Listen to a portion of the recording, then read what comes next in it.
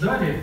Э, Там много собственников, и вот Павел Васильевич Пахомов там может э, подтвердить мои слова, что много собственников, нужно было каждого вычислить, взять документы официальные, кто там собственник, запросить, короче, да, соответствующие органы.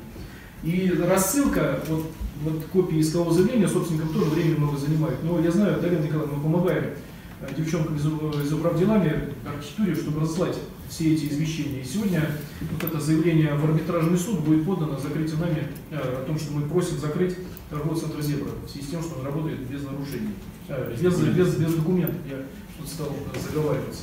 Там Юрий Владимировна вылежит фразу «работает без нарушений» и сделает какую-нибудь, ну, надеюсь, нет, Юрий Владимировна такая. Так что вот так, а также наше подразделение городского управления делам ГУЧС во главе с Третьяковым Андреем Викторовичем помогает э, МЧСовским подразделениям, да, спасибо, что привстали, проверки торговых центров. Зебра, другие, вместе с ними, потому что это в том числе и ваша обязанность.